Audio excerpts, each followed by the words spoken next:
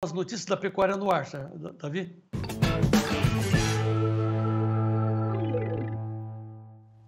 Sérgio Braga, você já entrou, já nos explicou os impactos dessa gripe aviária que atinge, atingiu uma pessoa no Chile, mas o boi gordo sofreu algum impacto ou como é que está o mercado hoje?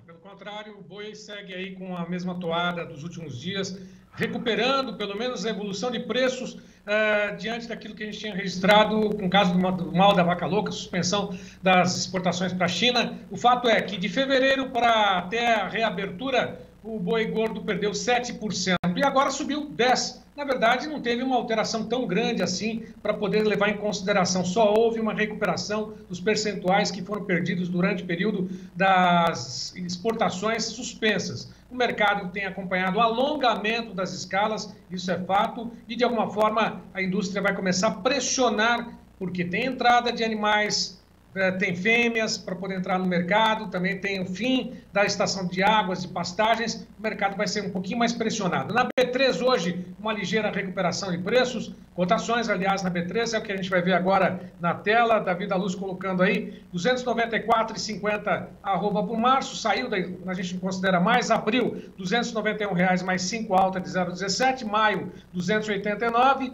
junho, 290,95. Ontem, 295,75 foi o indicador CPE Exal, que está em linha, aí sim, com o que está acontecendo no mercado físico, que está em torno de 295 até 300 reais a referência para arroba em São Paulo. O mercado físico apurou hoje, segundo a de Consultoria, é, quatro praças apresentando alta nas negociações. São Paulo, Barreto, Saracatuba, só a prazo, 282,50. Norte de Minas, 246,50.